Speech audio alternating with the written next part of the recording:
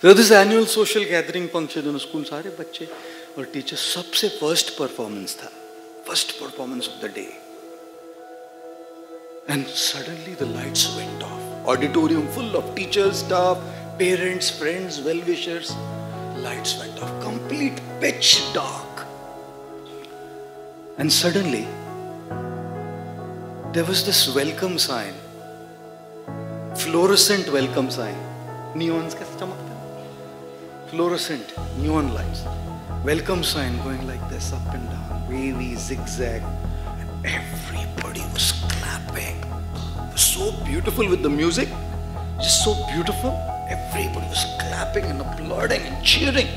it's just superb never seen a performance like this like in a like like बोलते ना पैसा वसूल performance you know like you say पैसा वसूल था वो picture we felt like wow this is phenomenal such the best performance of the day and once it got over, the music stopped. They turned the lights on in the auditorium and on the stage. और stage पे ना सात बच्चे खड़े थे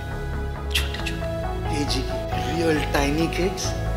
they didn't even know what to do like उधर रुमाल लगाए थे pin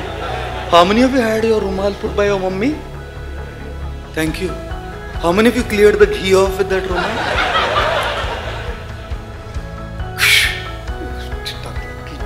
Kids, all of them standing like this in a queue. And each one of had this, each one of them had this neon fluorescent sign W E L C O M E. और teacher ने उनको सबको बोला था क्या करने का बस अपने अपने जगह पे खड़े उसको देख के नहीं बोला तेरे पास ये मेरे पास डब्ल्यू है मेरे को उधर आ रहा है तो निकाल ऐसा नहीं बस अपने अपने जगह पे खड़े रहने। और जैसे बताया, वैसे हिलने का, डुलने का, और कुछ ही नहीं करना अब poor kids they didn't even ask teacher ऐसा क्यों ऐसा क्यों? They just did that they were happy doing what they did and together they performed so well so पैसा वसूल परफॉर्मेंस ये अतरंगी दिमाग बड़ों के होते हैं छोटे बच्चे नहीं देख के बोलते, उसको डब्ल्यू क्यू, मेरे को यू क्यू एल क्यू? अरे what happens as we grow up such complication looking at others and not just being satisfied with who we are and what we can do but imagine when everybody comes together that synergy is a पैसा वशूल show in a dark auditorium and in the dark world today with so much dark stuff happening all of us are doing together as a synergy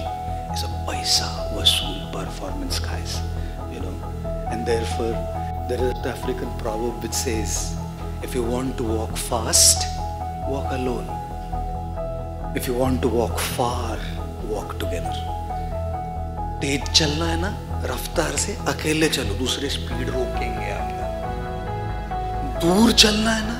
साथ में चलो, क्योंकि बीच में थक जाओगे motivation खत्म हो जाएगा डिस्ट्रैक्शन आ जाएगा फेल्योर आ जाएगा, और एक ही माइंड करेगा, बस अब छोड़ना है।